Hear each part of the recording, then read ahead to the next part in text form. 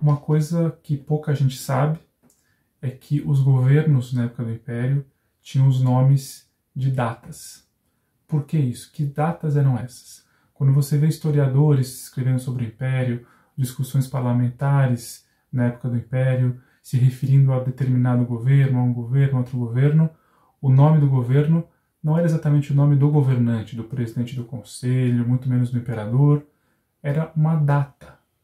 Então você tem o governo 12 de maio, o governo 31 de agosto, o governo 10 de agosto, o governo 3 de agosto.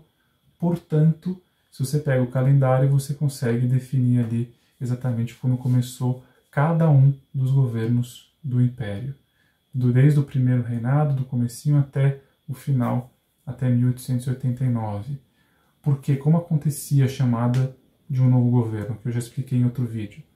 Quando o governo pedia demissão ou quando o Pedro II demitia um governo, ele perguntava para o ministro que estava sendo demitido ou que se demitia quem ele indicava para ser o seu sucessor e respeitando ou não essa indicação, o Dom Pedro II fazia o convite.